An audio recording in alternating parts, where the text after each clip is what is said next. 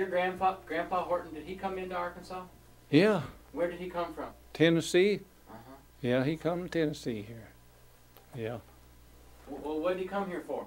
Ah, this was a hunting territory. Then you see, there was uh, animals, all kinds of animals here. He come here to hunt, and they settled here. This is all in a wilderness. Then wasn't nothing here but just animals. And they come here to hunt. See, this is all on Wellershare. There wasn't no cleared land, nothing. He homesteaded this and settled out there and cleared all this land. And he just stayed there as long as he lived. Never did leave. No, they that's uh, they come here to hunt. There's every kind of animal here. Then just like there's over in the jungles, you see, bear and deer and lions and just everything. Turkey. That's they hunted. They to get their own meat. You know, they didn't have hunt for meat. They just go out and kill it.